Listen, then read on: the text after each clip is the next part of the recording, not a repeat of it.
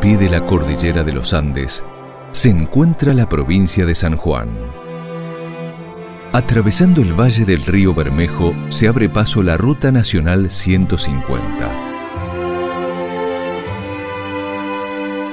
consolidándose como el ícono de una política nacional de integración vial que privilegia la descentralización, convirtiéndose en un eslabón estratégico de vital importancia para la región.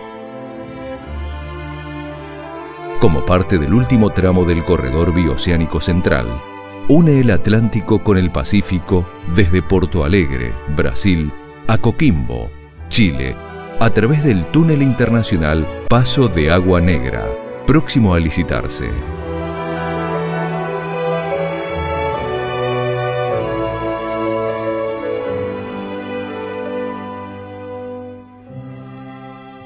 Con una extensión de 389 kilómetros, esta vía de comunicación nace en la localidad de Patquía, provincia de La Rioja, y finaliza en el límite internacional con Chile.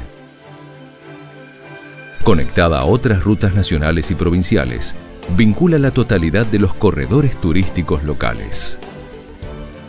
De los 303 kilómetros pertenecientes a la provincia de San Juan, la mitad fue trazada en áreas antes accesibles solo en helicóptero o a pie, implicando un gran reto profesional, técnico y económico que demandó el trabajo coordinado de especialistas de organismos públicos y privados, nacionales e internacionales, supervisados por la Dirección Nacional de Vialidad.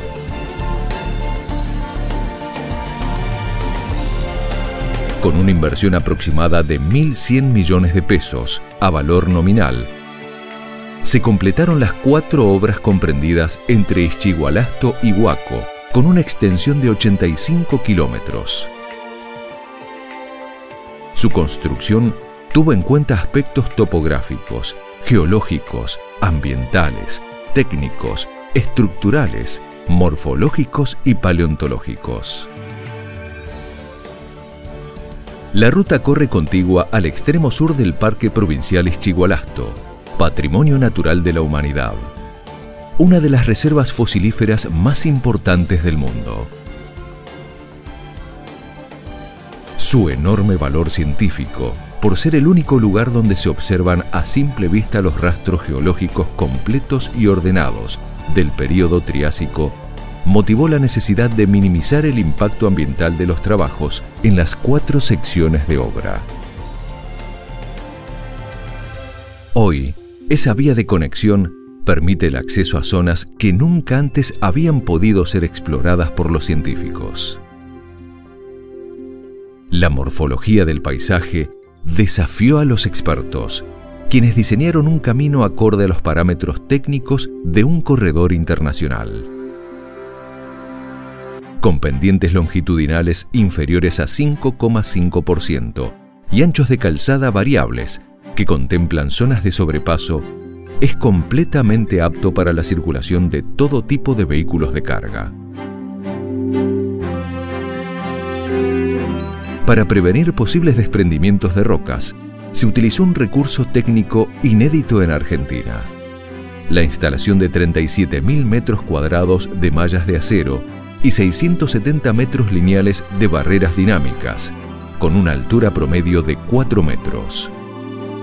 Por último, para afianzar la seguridad del trayecto, en algunos sectores se incluyeron lechos de frenado y carriles de ascenso.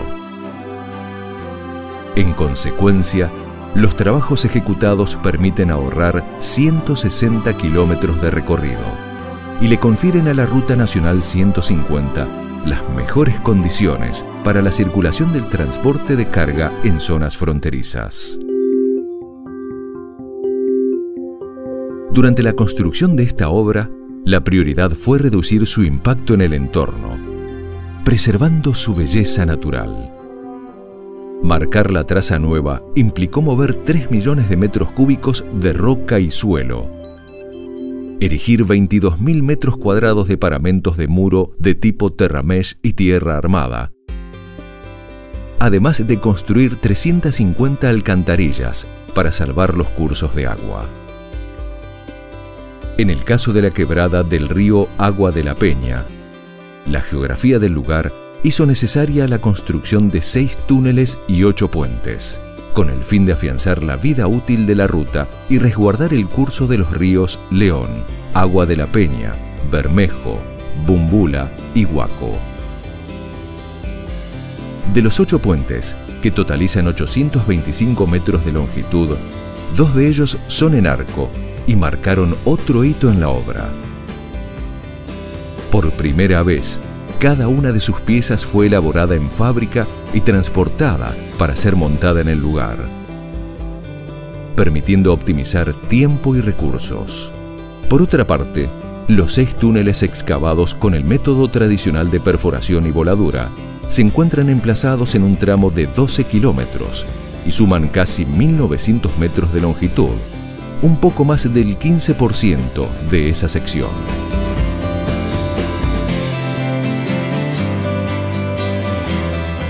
La Ruta Nacional 150 es el resultado de un intenso trabajo de equipo. La planificación, dedicación e ingenio la convierten en un símbolo de integración, conexión y desarrollo.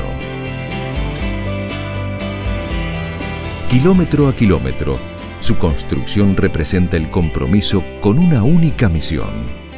Conectar pueblos. Unir el país.